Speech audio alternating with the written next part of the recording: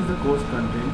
So if you have not received the course content, then um, just ping me your email ID. I'll send out that course content today. Now yesterday what we have done is we have done um, some of the basic things like we have created the uh, not created actually imported the source structure uh, of this file employees source structure from an employees file and we have created a target structure like this. Employee ID and full name. So this so we have created these two now today we will what we'll do is we will create a design or mapping where we will try to map the source with target. And we are doing a very very very simple transformation just concatenating the first name and last name and creating a full name. That's it. So let's do this today. And after that, we'll run the at mapping, run and create a workflow, run a session, and generate the output file. So let's create the mapping. So to create the mapping, you have to come to the mapping designer window. This one is mapping designer. so you go to the mappings, create, and usually the naming convention for mapping is m underscore and then let's say just create employee underscore. Right.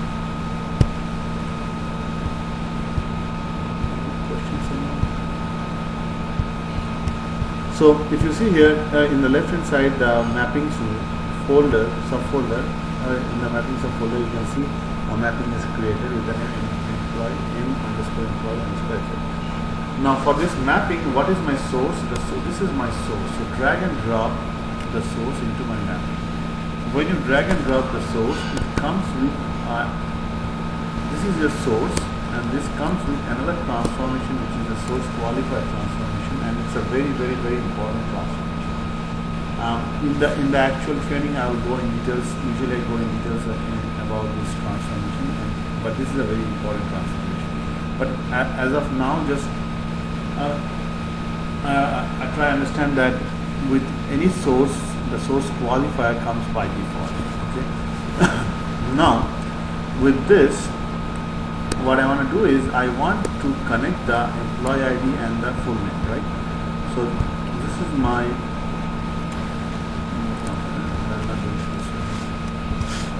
I'll go to transformation and I'll create one more transformation to be expression transformation. Okay? And say exp underscore EMC.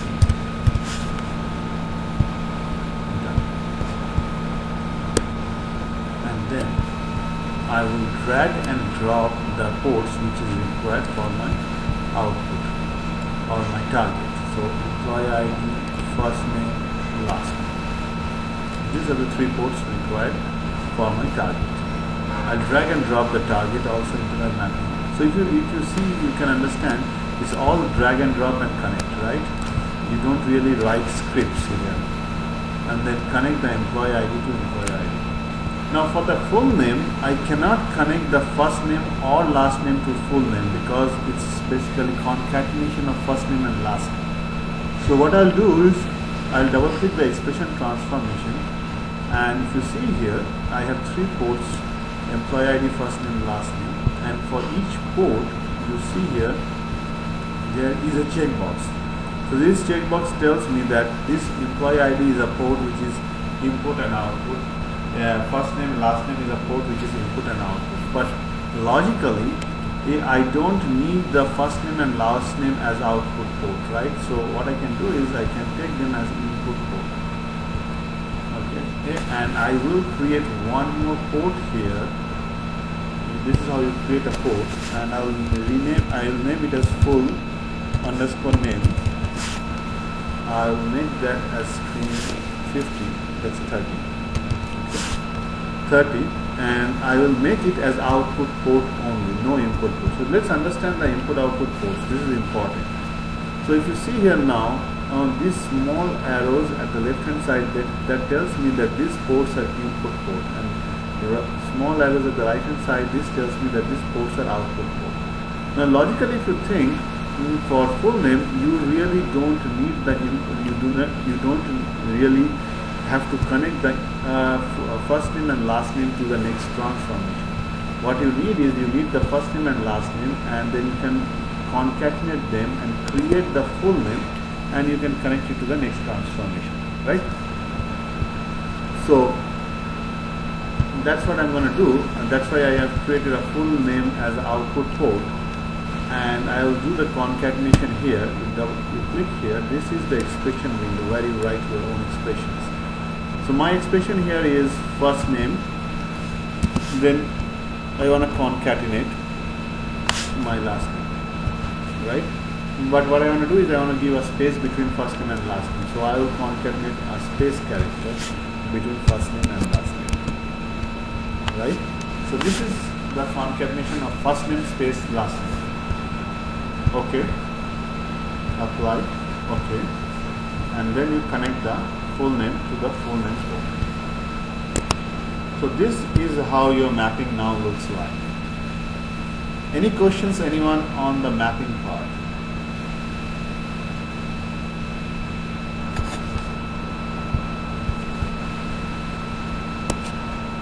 No? Okay. So um, if you if you do not have a question, then you understand this. The mapping, while we create this mapping, this is nothing but the design, the blueprint of your uh, requirement, right? Right. Uh, but right, now, if you look at this mapping, I am right now not dealing with actual data. I'm just dealing with the structures, and I'm I'm creating my I'm building my logic based on that structure, right? Now the next step would be I have to now now read the data from the actual data file. So for that what I do is, okay, I have to save this one. Once this is done, you have to save, control S, so that your changes are not lost. Okay? Now, once this mapping is created, what your next step is you create the workflow. You right click on the mapping and then at the bottom you see generate workflow. Then next, next, question. Uh, my audio is not clear. Uh, is it not clear for everyone or it's just not clear for Sashi? Everyone else can hear me properly or everyone can have a problem hearing me?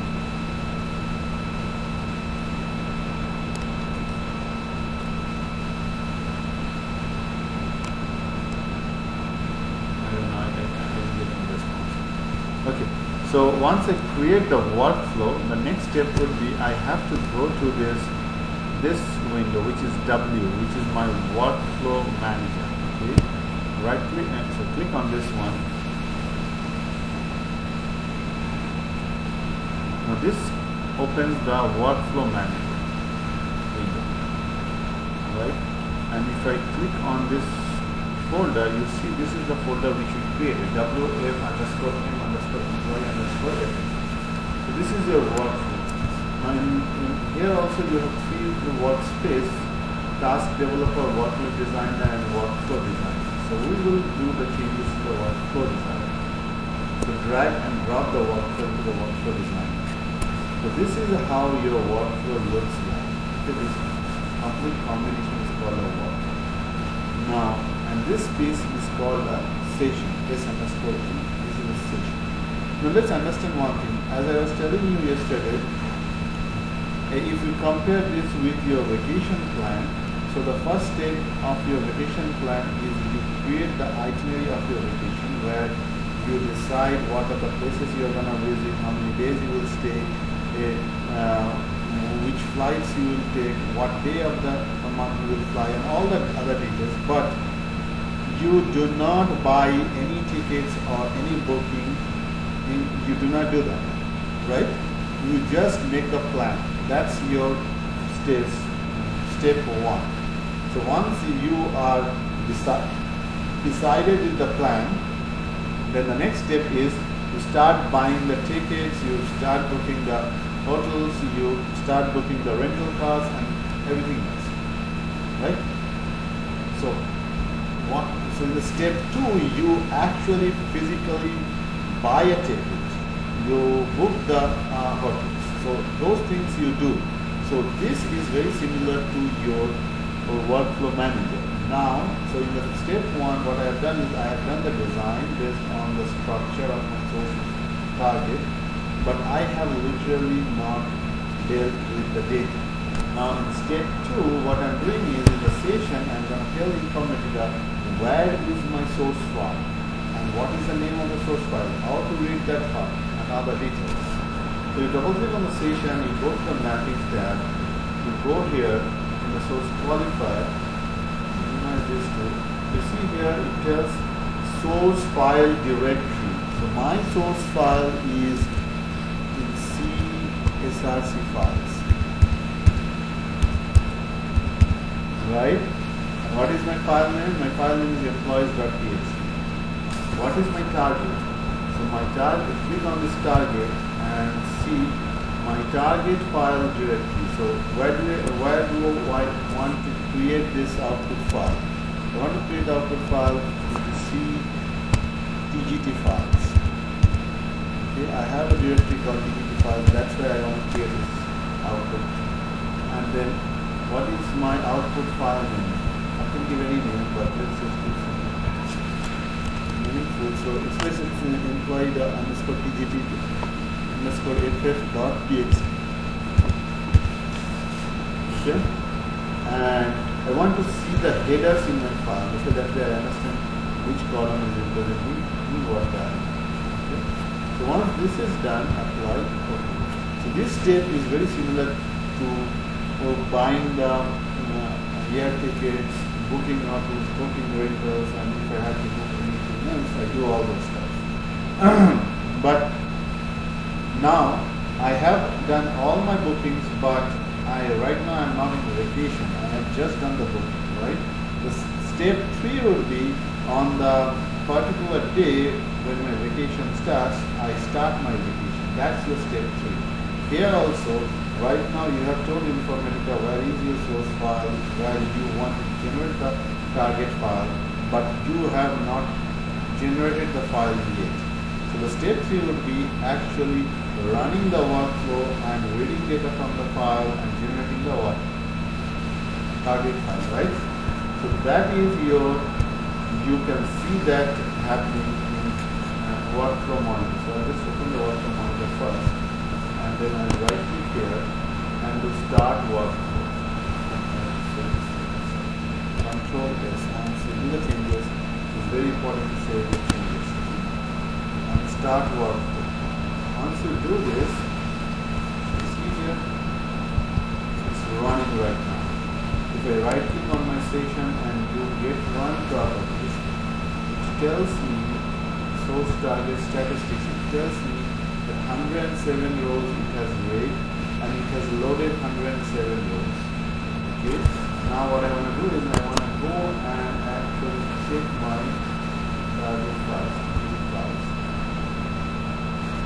See, this is the one which is created today, just now. Okay, I open this file, can see the data. So this is my employee ID and this is my. So my folder. So what we have just done is we have created a mapping with a very, very simple transformation logic where I'm reading the data from a file, generating another file, I'm reading the first name, last name from one file and concatenating it and generating the full name into another file. So this, the whole idea, as I was telling yesterday, the whole idea of this two-day session is to give a, you a perspective about how this tool looks like, how to work with this tool, how easy it is to use the tool. All drag and drop, easy to learn. So that you can take a decision that this is something you really want to learn or you want to learn something else. Okay? Uh, any questions, anyone? No. Uh, Sashi, you have a question? Uh, Sashi, let me do one. Let me unmute you. I think you have some questions. Yes, Sashi, go ahead.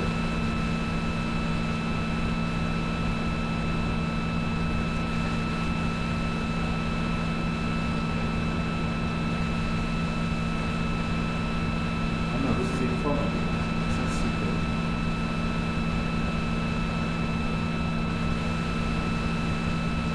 Yes, yes, it's different from the SQL, yes, absolutely. So Informatica is an ETL tool. So I believe you have not received, you have not attended yesterday's session, right? So, uh, so what I do, I'll, I'll do is I'll send out the video which I have recorded yesterday. I'll send out that one to you, so you watch that video first and then today's video. That way you will, will find the continuity, otherwise you will find this. Okay. But you, you have any other question regarding the training part?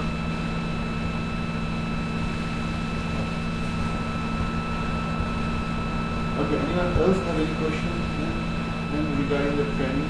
I'll just repeat the training part one more time. I have it. Uh, okay, Rama, if you want the yesterday's video, can you please send me your uh, email ID? I can send. Okay, and also I'll send, so are few things, things. I will send you the uh, course content which, which I was showing you at the beginning of the class. Uh, that way you will know what you're going to cover in the course. That's important. And and and I'll give you. Uh, let me just tell you something about the training. So uh, and the whole process of the training. So the first step would be you register for this training, and then, and then we will install the software in your system. So this software is a full version of the software. It's not going to expire even after the training is completed. You can still use the software. Now, for every day, what we do is we, uh, it's, it's, the training is more of, I would say, 85% to 90% hands-on training and 10 to 15% theoretical training. So every day I will, the way I have done the today's and yesterday's session, I'll do these sessions, everything I'll show you hands-on. Um, and during the session, the expectation is that you just keep watching me and ask me questions where you don't understand and I will be recording the sessions immediately after the class. I'll send out the recordings to you. You can now you can watch the videos and do the hands-on by yourself. I will be providing all the source files and all the documents required for the training to read. So all the readouts I'll, I'll send the, I'll, I'll provide you. I have created a list of assignments keeping the relevant scenarios in mind. So oh, if you are able to do those assignments, then I think you should feel confident that you will get a job. Now, a few other things about this training is is uh, do you have any question for me? Okay, Purvi, I'll, I'll unmute you. Just let me finish two things, then I'll unmute you. Um, this training is more of maybe around I would say 26, 28 hours course. And another good part of this training is let's say you take this complete training and at the end of the training you will feel okay, you know what, I need more time to learn this. Or maybe I need I need some some concepts to be revisited. So you can what you can do is you can just take the training again for free. So you pay once and then you can take the training again for free.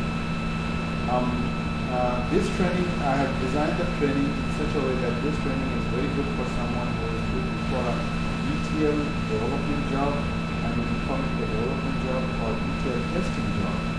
Uh, in this course, we will cover detail both the ETL development.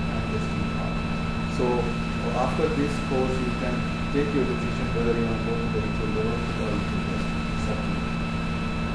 Um, uh, and also, another thing I want to tell you is at the end of this course, I will be helping you to prepare your resumes and also help you to get jobs.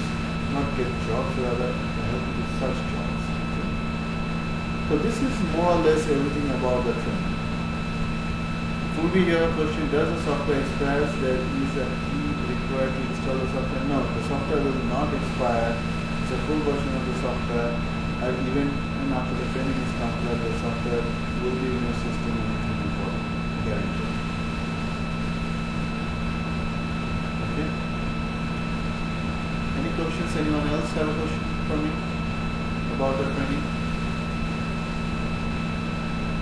So I'm planning to start the a new batch from next week. Uh, now this is another thing I want to tell you is uh, regarding the timing of the training right now I don't really know because the way I I, I do that uh, schedule is on the first day of the class as we discuss I usually discuss with all my students about their availability and based on everyone's availability we schedule the class and we stick to that plan throughout the training. Okay? So that, that is in the first class you get the opportunity to say that what is your ability, the the the so that we don't miss any class.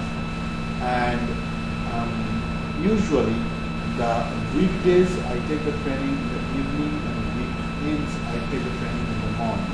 But I right now I cannot tell you how many weekend class and how many weekdays class because that has to be decided on the first day of the class. Uh, cost of the training you have to talk to H2K. They, they should be able to tell you the cost. of the training.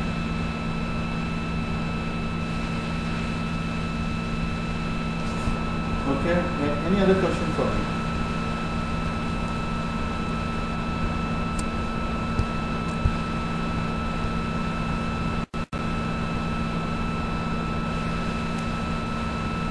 Anyone else have any other question?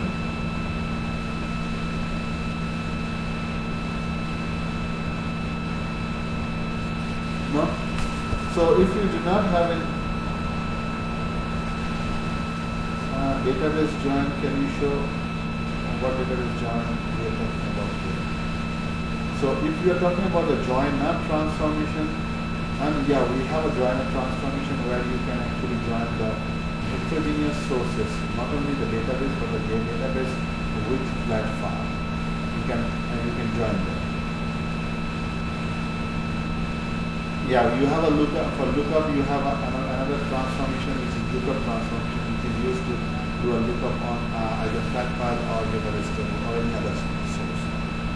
So uh, we will see those those in the actual training because the purpose of these two days class is not to not to go in details about all the transformations because that's that will take 26 20 hours.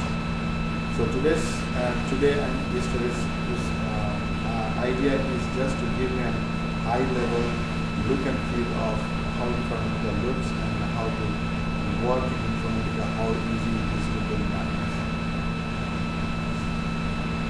Okay. Any other question for me? Anyone?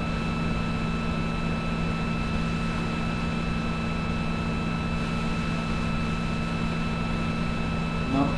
Okay, if you do not have any other question for me, then I'll end today's session here. And I will be sending out the videos. I am I have already recorded it, and I'll send out the videos to everyone. Anyone uh, anyone in the class who needs the video and not receiving the videos, feel free to e- uh, send me your email ID. I'll send you the videos and also the uh, course content. And uh, if you have any other question and about the training, just feel free to email me. You will have my email ID. Feel free to email me.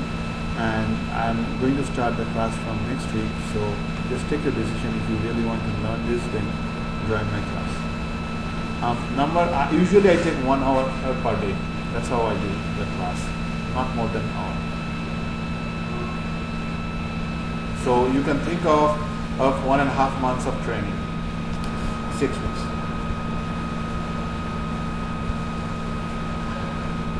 Okay, thank you very much for joining this session, and I would really love to see some of you in my next class.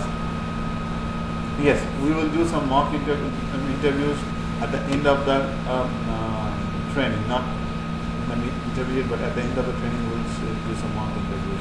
And also I'll be helping you to create your resumes. That will be more of a one-on-one session, and where I'll be helping you to uh, build your resume based on your experience and background. Okay.